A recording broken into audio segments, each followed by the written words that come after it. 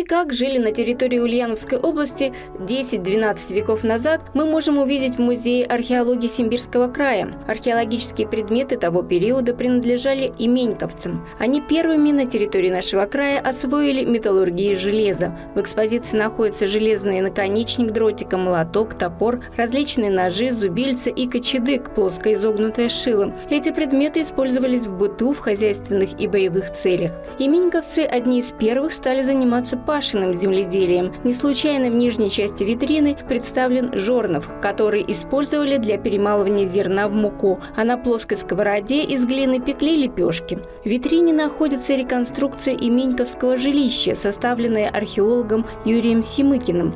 Судя по картинке, они жили в срубных домах с четырехскатной крышей, территория огораживалась чистоколом. За ее пределами именьковцы занимались рыбной ловлей, пашенным земледелием и скотоводством.